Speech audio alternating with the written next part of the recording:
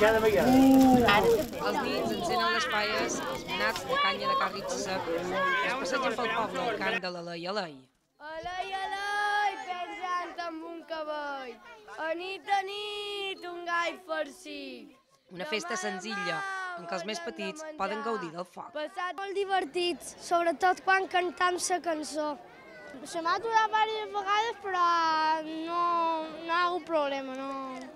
I m'agrada molt després, quan acabant la festa, botar foc. Antigament la festa se celebrava la nit de Nadal. Els padrins feien foc pels carrers i entretenien els infants abans d'anar a matines.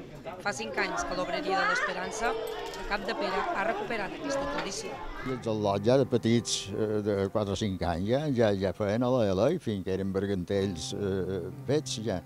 I, i res, i feien una festada.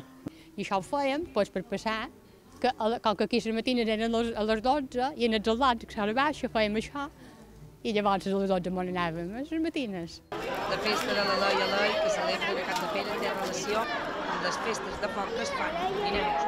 Demà l'Ajuntament ha organitzat una conferència per contar les arrels d'aquesta tradició. Les festes aquestes del foc, del solstici d'hivern, de, que, que també se celebra arreu de, de, de, dels Pirineus, per exemple. Demà també tenim una conferència que, que expliquen aquesta relació amb també les festes de les falles de, dels Pirineus de Catalunya. Abans de cremar les falles, a la plaça de l'Orient, s'ha llegit i cantat llegendes jovenines. Fosca negra, els nins han botat el foc, cremant les falles. Dice a è.